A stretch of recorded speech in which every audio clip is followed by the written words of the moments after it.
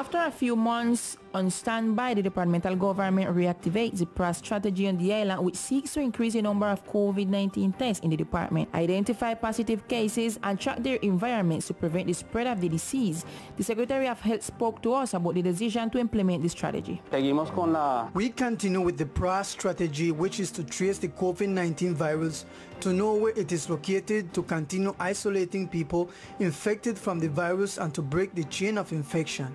The PRAS strategy is what has worked in the fight against COVID-19 in San Andres and Old Providence and from the Secretary of Health, we continue to address this work in conjunction with the IPS and EPS of the department.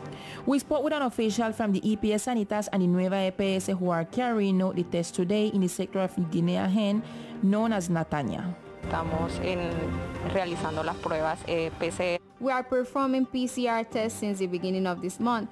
Previously, we are doing the antigen test as we are in the neighborhoods in the whole area of Guinea-Hen, Nuevo Bosque, Cantera, Ciudad Paraíso, and Luxby this week. If it is an antigen test, meaning the test results are immediate, if it's PCR after 8 days, each EPS is responsible for following up and calling them and giving the results to the patient.